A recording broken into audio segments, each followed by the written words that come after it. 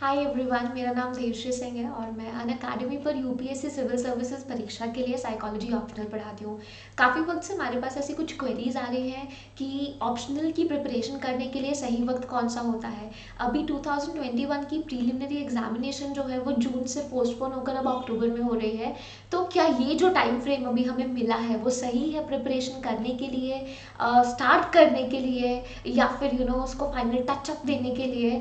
Definitely ये जो वक्त अभी हमें मिला है वो बहुत ही सही अपॉर्चुनिटी है ऑप्शनल के ऊपर एम्फोसिस देने के लिए। मैं इस डिस्कशन को दो तीन पॉइंट्स में डिवाइड करके आपके साथ में बात करती हूँ। सबसे पहले तो ये समझना बहुत ज़रूरी हो जाता है। मायने नहीं रखता कि आप 2021, 22 या 23 के एस्पिरेंट हो। ये पॉइंट सभी के लिए कॉमन रहेगा कि ये ज़रूरी है हमारे लिए समझना कि जीएस और optional right I like two pillars for this examination and you are suppose to balance your preparation for both of these subjects so GS को जेनरिक वे में स्टडी करना होता है एंड ऑप्शनल को स्पेशलाइज्ड वे में. It is basically like that you suppose to master your optional subject और वो mastery attain करने में थोड़ा वक्त तो ज़रूर लग जाता है. जितने टाइम फ्रेम के अंदर आप एक ऑप्शनल सब्जेक्ट प्रिपेयर करते हो यूजुअली ज़्यादातर optional subjects four to five months maximum में फिनिश हो जाते हैं. बट ये अप्रोच नहीं होनी चाहिए कि सिलेबस चार पाँच महीने में ख़त्म हो गया तो बस बात ख़त्म हो गई. हमारी अप्रोच अप्रोच होनी चाहिए कि वो सिलेबस के साथ साथ हम आंसर राइटिंग पे फोकस करें, हम करेंट अफेयर्स पे फोकस करें, हम साथ साथ हमारी रिविजन स्ट्रैटेजीज के ऊपर भी फोकस करें। तो ये ज़रूरी है कि उन पाँच महीनों के अंदर ना सिर्फ़ एक एक यू नो सिलेबस कंप्लीट कर पाना, बल्कि रिविजन साथ में करना आंसर राइटिंग प्रैक्टिस साथ में करना, अगर इतना सब आप कर लेते हैं तो आप ऑप्शनल को सही तरीके से, सही तरीके से अपना टाइम इन्वेस्ट करके पढ़ रहे हैं। अब वो बैलेंस क्रिएट करने के लिए, जो स्पेशलाइज्ड वाला पॉइंट अभी मैंने आपको दिया, उसके लिए ये भी समझना ज़रूरी होगा कि जब भी हम कोई ऑप्शनल सब्जेक्ट पढ़ते हैं तो यूपीएससी की डिमांड है हमसे कि हमको उसके डीपर अंडरस्टैंडिंग हो। हमको पता होना चाहिए कि वो सब्जेक्ट की कोर कॉन्सेप्ट कहाँ अप्लाई किए जा सकते हैं, कैसे अप्लाई किए जा सकते हैं इंटरकनेक्शन उसके बीच में क्या रहते हैं। और psychology is an optional subject की सबसे खूबसूरत बात यही है कि जो यूपीएससी की कोर डिमांड्स हैं, वही साइकोलॉजी की भी कोर डिमांड्स है। कुछ सब्जेक्ट्स में कुछ एडिशनल कोर डिमांड्स आ जाती हैं बट यहाँ बिल्कुल सेम है। अब ये भी पॉइंट आप सभी के लिए कॉमन है और वो कोर डिमांड्स हमारे लिए समझ पाना बहुत ज़रूरी है। देखो, कोई भी चैलेंज अगर आप एस करना चाहते हो लाइफ में तो ज़रूरी है कि आप समझो कि उसको एस करने के लिए हमें कौन सी स्किल चाहिए, उसको एस करने के लिए हमें कौन सी कॉम्पिटेंसी चाहिए। वो जानना ही नहीं, फिर उसको जानने के बाद बिल्ड करने में भी इन्वेस्टमेंट लगानी पड़ती है। उसके अपनी स्किल्स को शार्प बनाना पड़ता है। जब इतना कर पाते हो, तब कहीं जाके हमारे चांसेस बढ़ते हैं कि हम वो चैलेंज को एस कर सकते हैं। सेम सनारियो है हमारा इस पर्टिकुलर एग्ज़ाम के साथ में कि हमको यहाँ पे ये चीज़ समझनी है। कि अगर हम प्रिपेयर कर रहे हैं यूपीएससी के लिए तो हमको यूपीएससी की कुछ कोर डिमांड्स को समझना होगा और कुछ कोर कॉम्पिटेंसीज डेवलप करनी होगी। यूपीएससी की जो डिमांड्स है स्टूडेंट्स है, या एस्पिरेंट्स है, वो जीएस के लिए और यहाँ पर हमारे केस में साइकोलॉजी ऑप्शनल के लिए दोनों पे सिमिलर बैठती हैं। और ये कोर डिमांड्स है कि सबसे पहले आपको कॉन्सेप्चुअल क्लैरिटी बहुत अच्छे से होनी चाहिए। उसके साथ साथ आपको कॉन्टेक्चुअल अंडरस्टैंडिंग आनी चाहिए। आपको ये भी समझ में आना चाहिए कि कैसे अलग अलग अलग टॉपिक्स को इंटरकनेक्ट किया जा सकता है। चाहे वो सेम सब्जेक्ट के हों, चाहे वो डिफरेंट सब्जेक्ट्स के हों।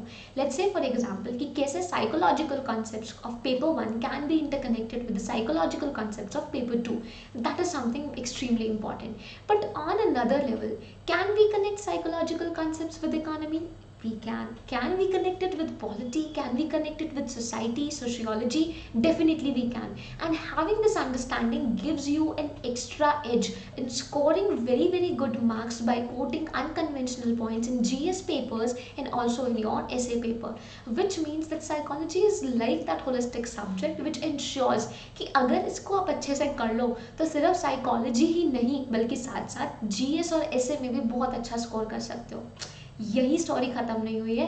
पर्सनालिटी टेस्ट में भी वो आपको बहुत हेल्प करता है बिकॉज़ एक माइंड सेट एक अप्रोच सेट कर देता है और आपको समझ में आता है कि एक एग्जामिनर की साइकी कैसी रहती है और आप कैसे उसके साथ में ईजिली डील कर सकते हो। एंड बहुत ज़्यादा ये भी मायने रखता है अब आप सभी के लिए कि अगर हमको उतने डीपर लेवल की अंडरस्टैंडिंग चाहिए तो क्या हमको यू you नो know, कितना टाइम इन्वेस्ट करना चाहिए? क्या पाँच महीने से ज़्यादा टाइम लगाना पड़ेगा, या फिर हमको बहुत ज़्यादा बुक्स पढ़नी पड़ेंगी, ऐसा कुछ नहीं है। साइकोलॉजी के लिए एक लिमिटेड सी बुक लिस्ट है लिमिटेड रिसोर्सेज फॉलो करनी है। लिमिटेड रिसोर्सेज के साथ साथ बहुत मायने जो चीज़ रखती है, वो एक प्रॉपर गाइडेंस है। अगर कोई आपको गाइड करे अच्छे से कि किस तरह से प्रिपेयर करना है paper one paper two especially the research course then you are sorted for it now after that you just have to ensure that you complete your syllabus really really well along with that you practice current affairs and you are practicing answer writing very regularly अब क्या होता है कि कई बार ना psychology को लोग समझते हैं कि हम नॉर्मली बुक से रीड कर लेंगे और जो बुक में लिखा है वही आंसर्स में लिख कर आ जाएँगे तो हमारे बहुत अच्छे मार्क्स आ जाएँगे। बट एक्चुअली में ऐसा नहीं होता है। आपको दिखाना है ना कि वो कोर कॉम्पिटेंसी हमारी, कि कैसे कैसे हम कॉन्सेप्ट को अप्लाई कर सकते हैं सोसाइटी के अंदर डिफरेंट फील्ड्स के अंदर। जब ये चीज़ हम समझ जाते हैं, अब क्या होगा कि आप करेंट अफेयर्स के साथ कनेक्ट कर पाओगे। आपको पता होगा कि कौन से कॉन्सेप्ट के साथ में ये करेंट इवेंट जो है, मैं कनेक्ट करके अच्छे मार्क्स ले सकता हूँ। आप उसको ऐड करो, आपको अच्छे मार्क्स मिलेंगे। अब कला है कि कैसे ये सारे के सारे पॉइंट्स आप एक इकट्ठा मिलाकर अपने आंसर्स में डालते हो। पूरी नॉलेज है ना जो हमारी, उसको समराइज करके लाइक एक निचोड़ उसका जो है वो हमारे आंसर में आना चाहिए। वही एग्जामिनर को दिखाता है कि कितना अच्छी नॉलेज है इस पर्टिकुलर एस्पिरेंट की या स्टूडेंट की एंड इसको इस चीज़ के मार्क्स मिलने चाहिए कि इतना सारा जो नॉलेज था, या जो इतना सारा कॉन्टेंट था, वो इतने कम शब्दों में लाइक कुंजी में समुंदर भर दिया ना तो इस चीज़ की मार्क्स मिलते हैं, क्योंकि यही कुछ स्किल्स हैं जो मीन्स में टेस्ट की जाती है। विच मीन्स कि अब हमको इतना समझ में आ गया कि साइकोलॉजी एज ए सब्जेक्ट क्या डिमांड करता है? और क्या साइकोलॉजी की जो डिमांड्स हैं, वो सेम यूपीएससी की डिमांड्स हैं या कुछ एडिशनल है? बिल्कुल सेम है, कोई एक्स्ट्रा एफर्ट नहीं लगता। सेम चीज़ करनी है सेम तरीके से एक अच्छी खासी dedicated study that's all right with right guidance and with your dedicated efforts definitely you can score extremely high in the subject highly scoring subject है. ज़्यादातर लोगों को तो इंटरेस्टिंग लगता ही है. अगर आप भी उनमें से एक हैं जिनको ये इंटरेस्टिंग लगता है तो यही ऑप्शनल सब्जेक्ट आपके लिए बेस्ट है. आप सिलेबस की जो वीडियोस हैं वो भी देख सकते हो एंड आप एक बार प्रीवियस क्वेश्चंस भी देख सकते हो. स्ट्रैटेजी बहुत सिंपल है. लिमिटेड बुक रिसोर्सेज जो है आपको फॉलो करनी है। उसके साथ में जब आपके कुछ कुछ यूनिट्स कवर हो जाती है, आप मूव ऑन कर जाते हो आपकी you know this answer writing के ऊपर। अभी क्या है कि जब हमारी कुछ यूनिट्स हो गई तो हम कोई बहुत कंक्रीट आंसर राइटिंग नहीं कर रहे हैं। हम एक स्ट्रक्चर समझ रहे हैं आंसर राइटिंग का। जैसे जब तक सिलेबस ख़त्म होता है, हम वो स्ट्रक्चर समझते हैं। एक एक क्वेश्चन प्रैक्टिस करके मे भी दो क्वेश्चन प्रैक्टिस कर लो वीक में। That is also good enough because हमको सिर्फ़ ये देखना है कि क्या हमको समझ में आ रहा है कि क्वेश्चन की डिमांड क्या है और हम वो डिमांड फुलफिल कर पाते हैं कि नहीं। अब इन सब चीज़ों को ध्यान में रखते हुए 2021 के एस्पिरेंट्स के लिए क्या ये दो तीन महीने काफ़ी हैं? देखो प्री पोस्टपोन हो चुका है। आप पहले से प्रिपेयर करते आ रहे हो विच मीन्स कि पोस्टपोन होने के बाद भी एटलीस्ट इतना तो मान के चल सकते हैं कि आपका 60 टू 70 परसेंट जो सिलेबस है, वो प्री के लिए कवर्ड है। तो उस हिसाब से अगर 70 परसेंट भी कवर्ड है, वैसे तो ज़्यादा हो जाना चाहिए बट अगर इतना भी कवर्ड है तो आप क्या कर सकते हो, अभी ऑप्शनल को ज़्यादा टाइम दे सकते हो। जून जुलाई इवन अगस्त मिड अगस्त तक तो बहुत आराम से आप ऑप्शनल को ज़्यादा वक्त देकर अपना ऑप्शनल कवर कर सकते हो बहुत ईजीली अगर इतना आपको लगता है कि भाई मेरा ना जीएस का जो प्रिपरेशन है मैम वो तो 80-90 परसेंट का हो चुका है तो फिर आप और भी ज़्यादा टाइम दे सकते हो। आप कहीं आठ घंटे तक ऑप्शनल को देकर उसको और भी जल्दी मिड अगस्त तक डेफिनेटली पूरा भी ख़त्म कर सकते हो। थोड़ा एक्स्ट्रा एफर्ट लग रहा है यहाँ पे बट पॉसिबल है। अब कोर्सेज भी होने चाहिए उसके लिए इनलाइन बिल्कुल कोर्सेज हैं।